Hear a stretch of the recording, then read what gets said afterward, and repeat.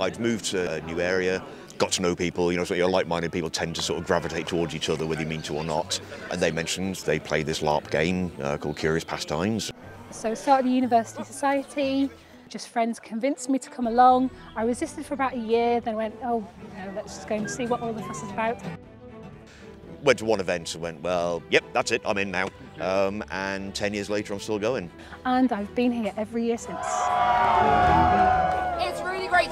The crowd is watching!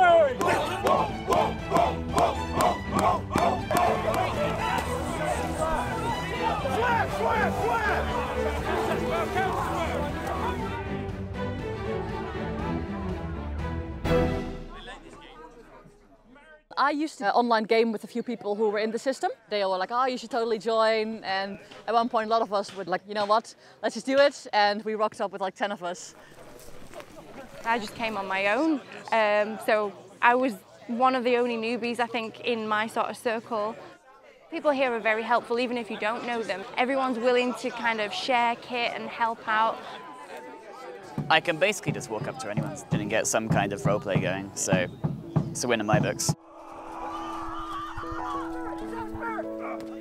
I've started doing some other fest systems and I just find this one actually is a lot more accessible on plot if you want to get involved with it, that sort of thing. So you have these really highly emotional kind of things that you're so involved in because the immersion is happening all around you all the time. It's intense, but you bond over those things.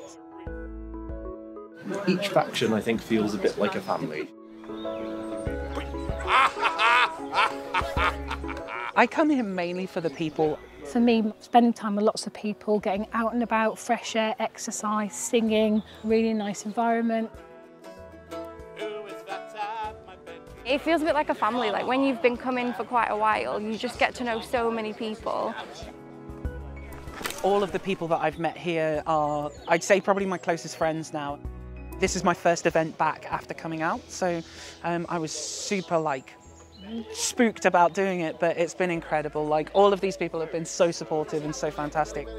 I love my people. These are my family, really, like here at CP. So, um, and as much as I love the game, yeah, it's mostly about these oddballs behind me.